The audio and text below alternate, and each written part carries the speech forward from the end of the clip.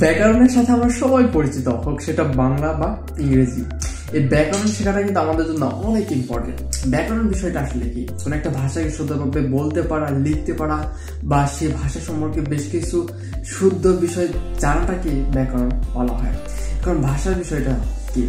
ভাষা কিন্তু আমরা ছোট্টবেলা থেকে শিখে ফেলেছি, মাতৃভাষা বা বাংলা ভাষা।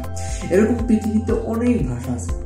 এই পৃথিবী সৃষ্টির পর থেকে, এই পৃথিবীতে যখন আদিম যুগ মানুষ বাস করতো, তখন কিন্তু তারা এই বর্তমানের ন্যায় আধুনিক কমিউনিকেশন ব্যবস্থা ছিল না বা আধুনিক ভাষা তাদের মধ্যে ছিল না।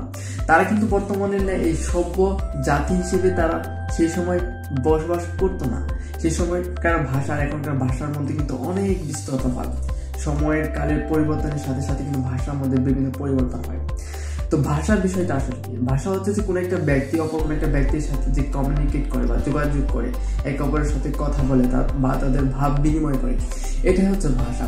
ভাষার সংজ্ঞা বিভিন্ন বিজ্ঞানী বিভিন্নভাবে দিয়েছে তবে ভাষার সংজ্ঞা কোনো কোনো বিজ্ঞানী এভাবে দিয়েছেন যে মানুষের মনের ভাব সুন্দর ও সুস্পষ্টভাবে প্রকাশ করার জন্য কণ্ঠনিশ্চিত অর্থবোধক ধ্বনি বা ধ্বনি সমষ্টিকে ভাষা বলা। হয় আবার বলি, মানুষের কণ্ঠনিশ্চিত অর্থবোধক ধ্বনি বা ধ্বনি সমষ্টিকে ভাষা বলে।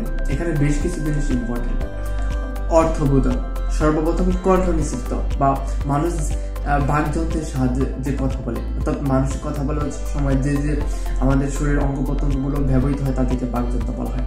তো এই বাকযন্ত্র নিশ্চিত বা কণ্ঠ নিশ্চিত অর্থবোধক ধ্বনি বা ধ্বনি সমষ্টিকে ভাষা বলা হয়। শুধুমাত্র যে কোনো আওয়াজ করলে কিন্তু ভাষা হয় না বা কোনো একটা ধ্বনি হয় না বা মিনিংফুল ধ্বনি হয় না।